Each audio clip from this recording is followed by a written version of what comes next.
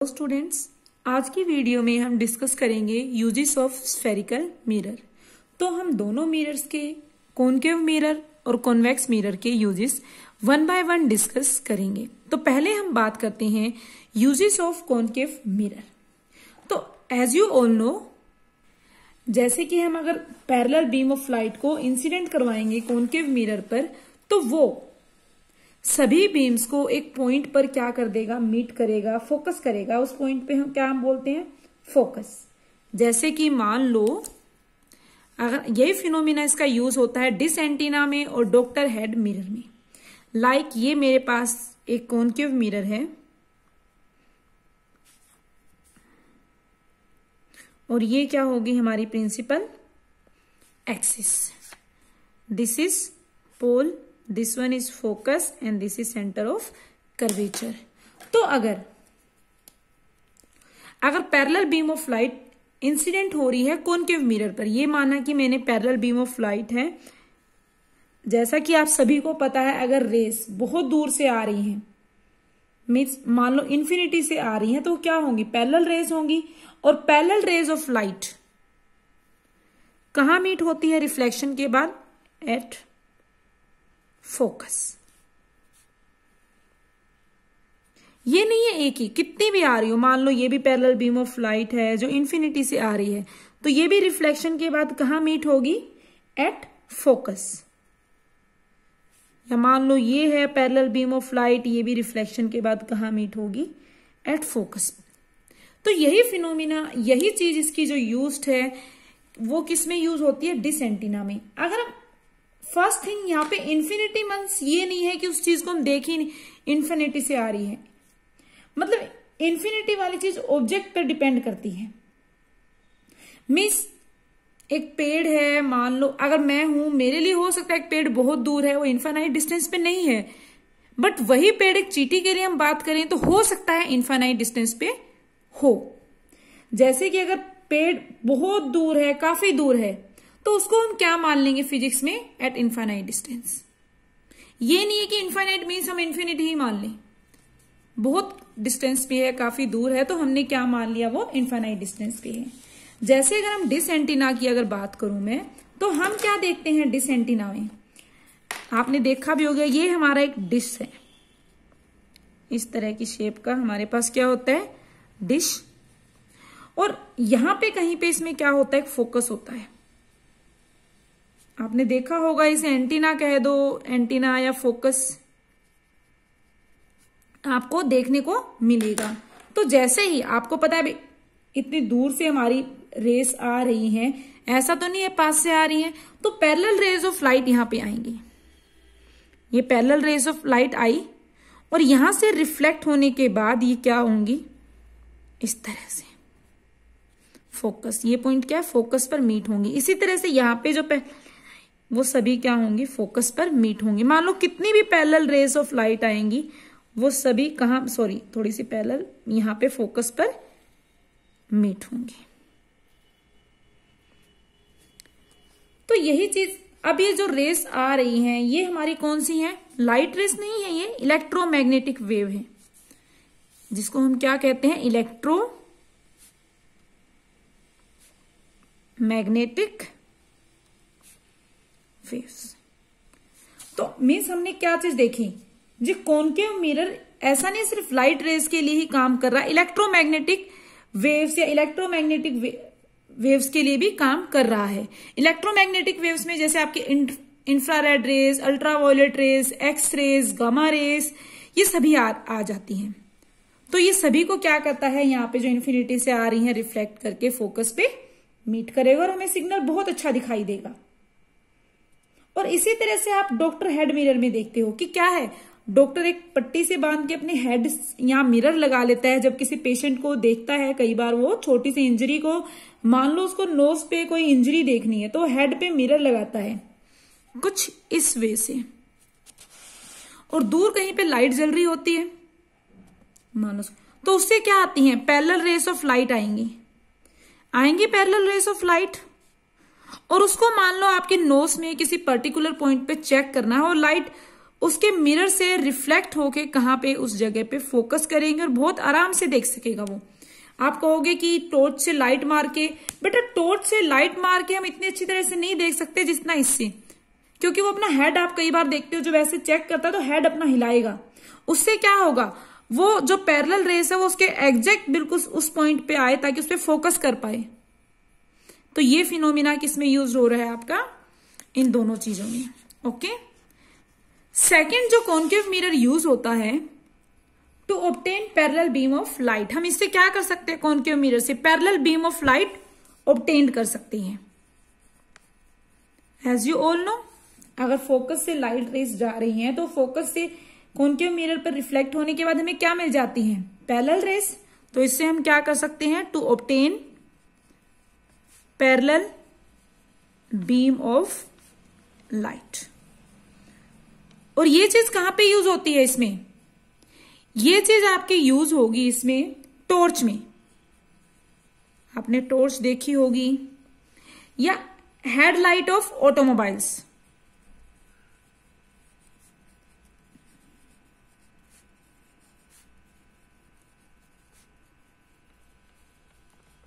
या आप कह सकते हो कार हेडलाइट ट्रक हेडलाइट सबकी हेडलाइट्स भी। तो इसमें क्या होता है? एज यू नो कि हम इसमें क्या करते हैं? ये मेरे पास मान लो कॉनकेव मिरर है।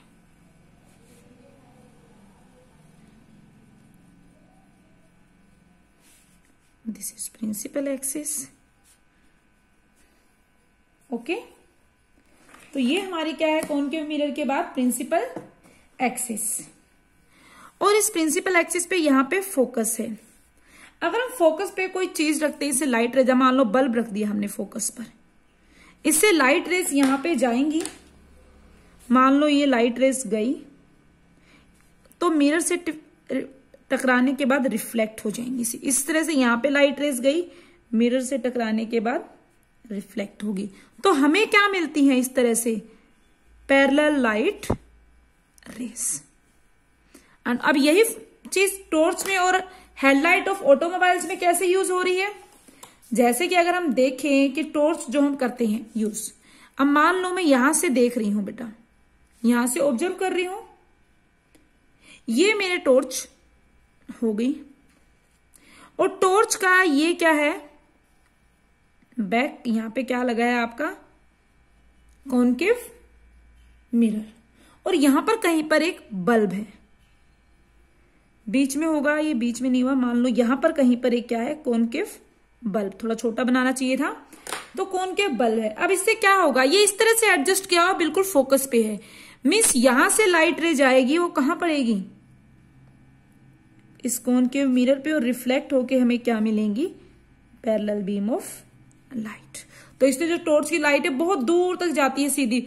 ऐसे नहीं, पूरे फैल जाती। इस तरह से हमें मिलती पैरेलल बीम ऑफ़ लाइट जैसे हम कार के अगर हेडलाइट की हम बात करें तो कार के हेडलाइट में भी अगर यहाँ से आप देख रहे हो तो आप क्या देखते हो? ये कार की हेडलाइट है। यहाँ पे क्या लगा होता है आपका कॉन्केव मिरर और बिल्कुल सेंटर में यहाँ छोटा सा बल्ब लगा होता है। तो इस बल्ब से क्या होंगी? आपकी लाइट निकलेंगी लाइट रेस और यहाँ से इंसिडेंट होंगी, और इंसिडेंट होने के बाद रिफ्लेक्ट हो जाएँगे in the form of parallel rays. जो सोर्स ऑफ़ लाइट है यहाँ पर, हम सोर्स ऑफ़ लाइट को कहाँ रख रहे हैं हम? फोकस पर। कहाँ रखते हैं सोर्स ऑफ़ लाइट को? फोकस पर हमें क्या मिलती है? Parallel rays. हमें देखा कि कॉनकेव मिरर का कहा यूज़ कर रहे हैं? ऐसे रिफ्लेक्टर यूज़ कर रहे हैं। As a reflector obtain parallel beam of light like torch search light headlight of automobiles and many more दूसरा हमने क्या देखा था? कि इसको यूज़ कर रहे हैं डॉक्टर हेड मिरर में और हम डिस एंटीना वगैरह में भी इसको यूज़ करते हैं। थर्ड एंड लास्ट यूज़ हम इसका बात करें तो थर्ड और लास्ट यूज़ हमारा क्या होगा? थर्ड यूज़ हमारा होगा for magnifying mirror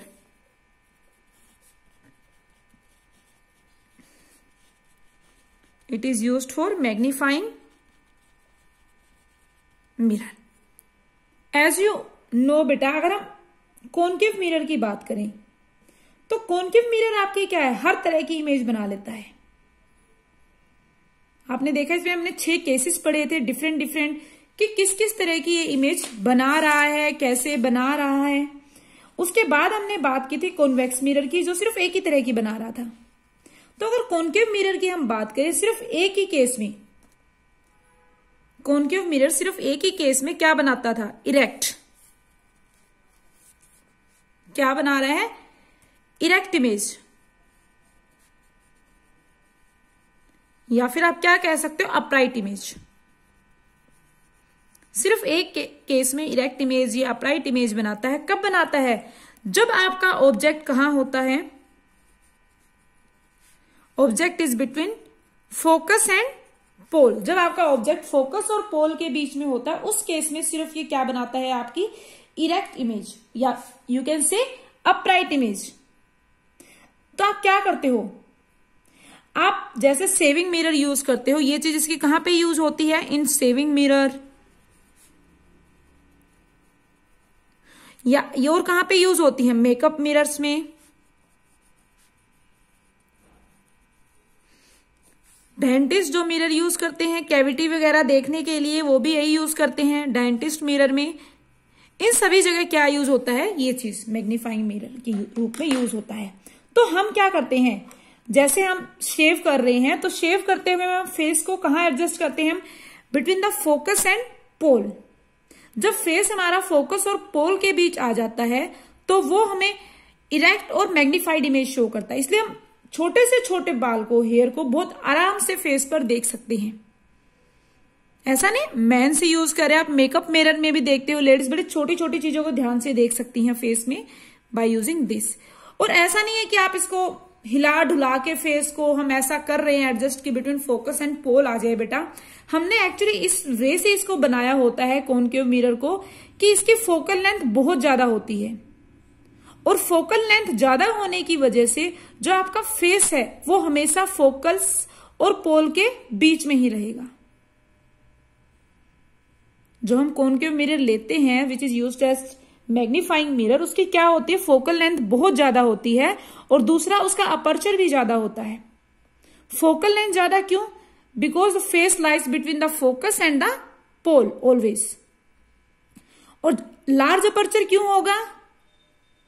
So as to view the entire face हम पूरे फेस को देख सकें। तो ये हमने बात की पूरी कॉनकेव मिरर की। Next we will discuss uses of convex mirror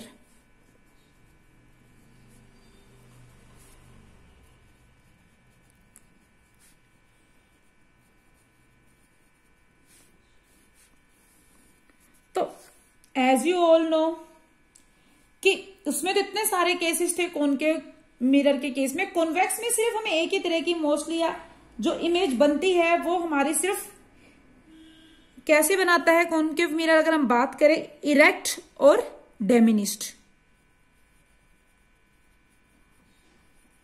image erect और डेमिनिस्ट इमेज बनाता है। और यही इमेज कौन नहीं बना रहा था? कॉनकेव मिरर अगर आपको याद हो, इसी तरह की हाँ इरेक्ट तो मैग्निफाइड बना रहा था बट इरेक्ट और डेमिनिस्ट नहीं बना रहा था, और यही हमारा कौन बना रहा है कॉनकेव मिरर तो कॉनकेव मिरर मोस्टली आपका यूज़ होता है, जो एग्ज़ाम में भी क्वेश्चन आता है it is use as rear view mirror it is use as rear view mirror in vehicles जब व्हीकल्स में देखते हो साइड में मिरर होता है, जिसमें पीछे का दिखता है, उसमें एक कॉन्वेक्स मिरर यूज़ होता है। तो उसमें सिर्फ़ कॉन्वेक्स मिरर क्यों यूज़ कर रहे हैं हम? क्योंकि ये सिर्फ़ क्या बनाता है? इरेक्ट और डेमिनिस्ट इमेज अब इरेक्ट और डेमिनिस्ट इमेज बनाने से क्या हुआ? हम क्या कर लेते? कॉनकेव मिरर यूज़ करते। तो बेटा, क्या होता? जैसे मान लो, इसका पहला हमने यही मिरर क्यों यूज़ किया? रियर व्यू मिरर के लिए। फ़र्स्ट थिंग क्या है? अगर हम देखें क्या रीजन है हमने इसी को यूज़ किया रियर व्यू मिरर के लिए? वाई कौन के? मिरर को। पहला reason it gives upright image upright image अब आप कहोगे अपराइट इमेज तो हमें कौन के मिरर भी दे सकता है? बट बेटा कॉनकेव मिरर हमें अपराइट और इन्वर्टेड दोनों तरह की इमेज देता है?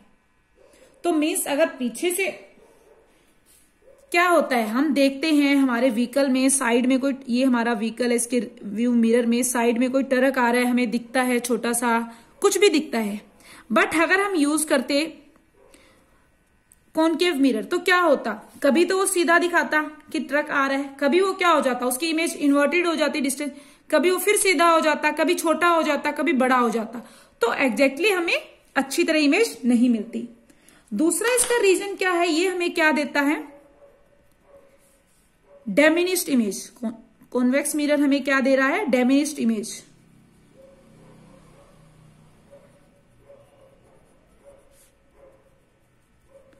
ये हमें छोटी इमेज दे रहा है। इसीलिए क्या होता है? जब हम ट्रक दे, देख रहे हैं उसके साथ में हम जो फ़ील्ड ऑफ़ व्यू है वो हमारी बढ़ जाती है। और चीज़ों को भी देख ऐसा नहीं सिर्फ़ ट्रक ही ट्रक शो कर रहा है। पूरा हमें शो करता है। जबकि अगर हम कॉन्केव मिरर में किसी तरह सेट भी कर दे कि इमेज हमारी जो बने अपराइट बने बट वो कैसे बनेगी? मैग्निफाइड बनेगी, हमें क्या दिखेगा? सिर्फ़ ट्रक ही दिखेगा। उसके साइड में क्या आ रहा है? क्या नहीं आ रहा? ये सभी चीज़ें हम नहीं देख पाएँगे। थर्ड एंड लास्ट पॉइंट की अगर मैं बात करूँ that is it has larger field of view इसका फ़ील्ड ऑफ़ व्यू भी क्या होता है? बहुत ज़्यादा होता है। अगर आप देखोगे कभी किसी व्हीकल के रियर व्यू मिरर में तो आपको ऐसा नहीं पीछे जो ट्रक आ रहा वही दिखता है। साइड के पेड़ वगैरह और कोई व्हीकल आ रहा है, वो सब कुछ आपको क्या होता है? दिखाई देता है। तो this is the reason why we use convex mirror instead of concave mirror अब मन में आता है कि ठीक है, कि हम प्लेन मिरर तो यूज़ कर सकते थे।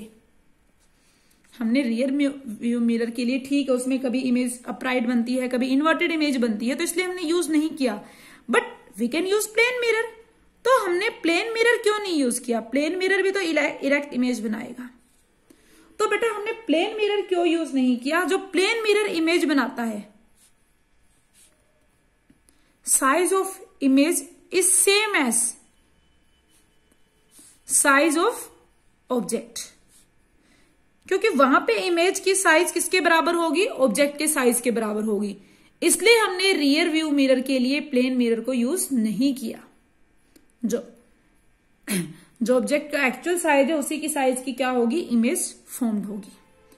ओके तो ये था हमारा फ़र्स्ट यूज़ जो हमने पढ़ा, उसको हमने देखा कॉनकेव क्यों नहीं यूज़ करते और प्लेन मिरर क्यों नहीं यूज़ करते इस रियर व्यू मिरर में instead of convex mirror second use इसका बेटा आता है इन शॉप्स शॉप्स में कहा पे? For anti thief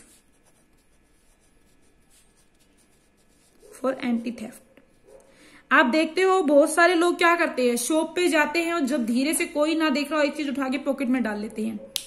फिर से थोड़े कोई ना देख रहा हो तो एक चीज़ उठा के पॉकेट में डाल लेते इसलिए शॉपकीपर क्या करता है? बड़े बड़े कॉन्वेक्स मिरर लगा देता है या छोटे ताकि हम उसको आराम से देख सकें। Okay this is all about the uses of spherical mirror you have to study distinguish between plane mirror concave mirror and convex mirror. I hope ये सबका हो चुका है। हम पूरी डिटेल में इसके बारे में बात कर चुके हैं। फिर भी अगर आपको कोई डाउट हो we will discuss in our life lectures okay बेटा।